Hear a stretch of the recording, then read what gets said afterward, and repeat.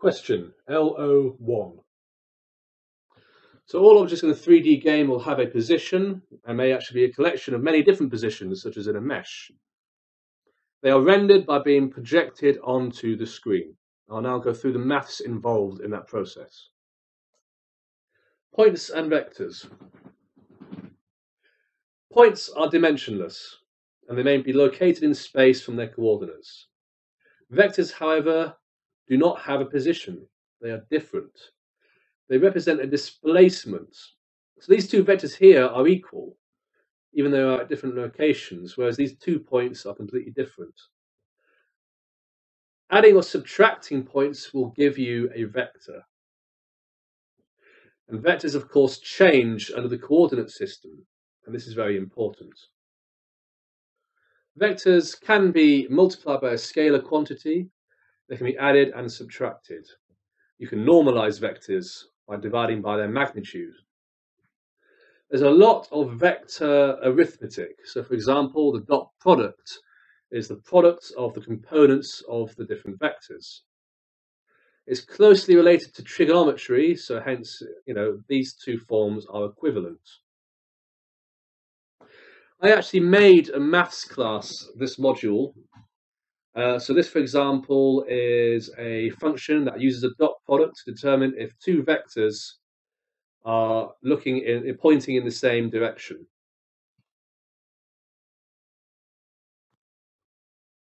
In terms of coordinate space, they nicely combine points and vectors. So, for example, all coordinate space have an origin. This is a point. They contain axes, however, and these are vectors.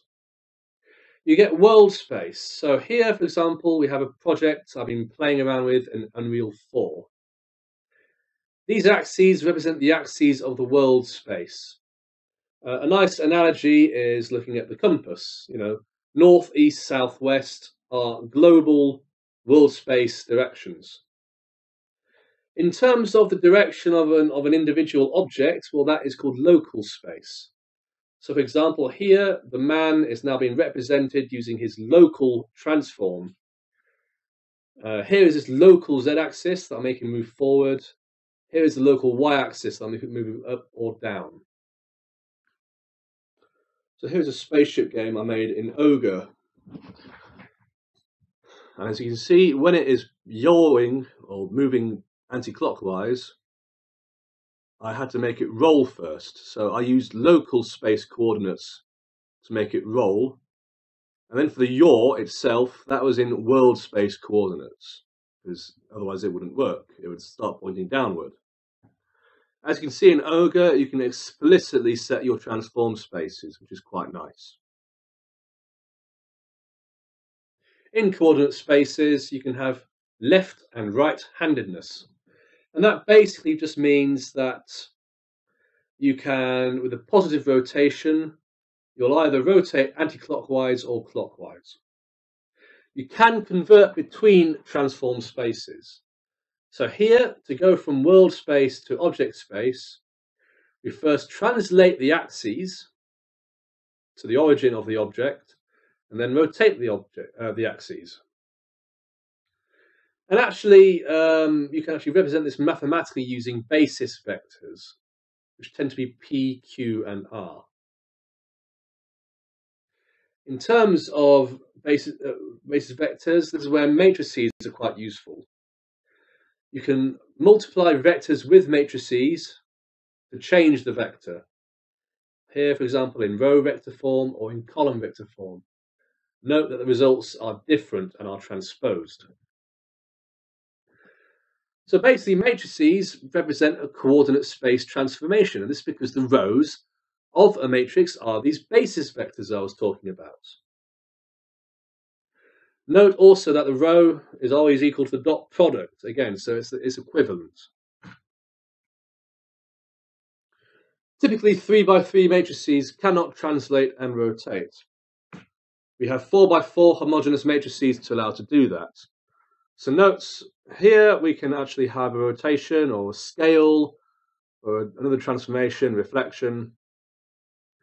And here we can have translation itself. We multiply this matrix by a four component vector. we end up with a translation, as you can see. To have no translation, we simply set this component to zero, multiply any number by zero, you get zero. Often this column is implicit, so often computer code such as fire does not include it. Uh, fire, for example, has 4 by 3 matrices.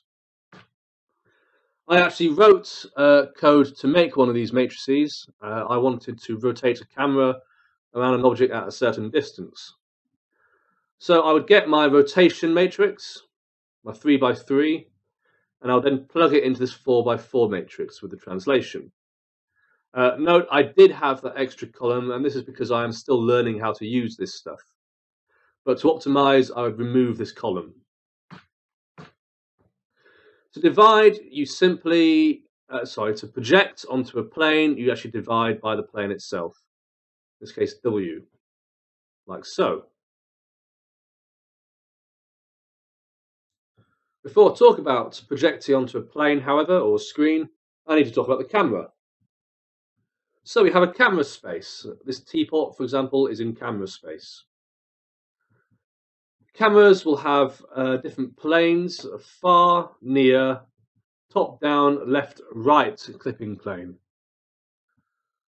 where anything outside these planes is not rendered. We have two types of camera, perspective, where you have depth information, and orthographic, with no depth information. Note that the planes will intersect a point in a perspective camera frustum, whereas in an orthographic frustum, it is basically just a rectangle, a cube. In a perspective camera, we have our field of view, and this helps define the zoom. Increasing the zoom here will increase the size of the image. And like in a real camera, changing the focal distance does not zoom the image, and we must do it manually. So to convert to camera space, we have to go from local space into world space, and then transform the world space to the camera space. So here we have our clip matrices for clipping the image just before we project it onto the screen. So this is the clip matrix for a perspective camera. So notice it is a 4x4 homogeneous matrix. If we multiply this vector by this matrix, we end up like this. We can now divide by the depth. In an orthographic camera, however, it's just essentially just the identity matrix. And this will not change the vector at all. So there is no scaling by depth. Here we have a DirectX clip matrix. It takes into account the zoom and the far and near clipping planes. Note here we have the 1 because this is for the perspective um, matrix. If it was orthographic, the 1 would be here. OpenGL uh, uses column vectors, and so the matrix is transposed. But this, again, is of the same form here. Our last role then is to go from clipping space and to actually map the pixels onto our two-dimensional screen. Okay, and that's can be done with these equations here, using the resolutions of the window and the device.